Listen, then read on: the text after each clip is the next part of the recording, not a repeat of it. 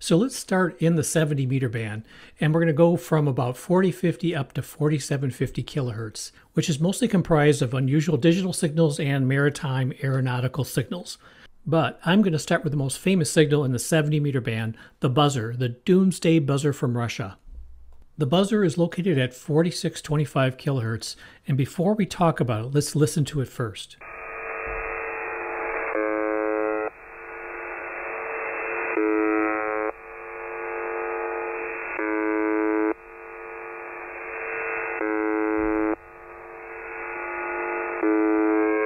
So, what is this monotonous signal called the buzzer? It's also known as UVB 76 or UVB 76. And just reading here, you can see it broadcasts 24 hours a day with 25 tones per minute.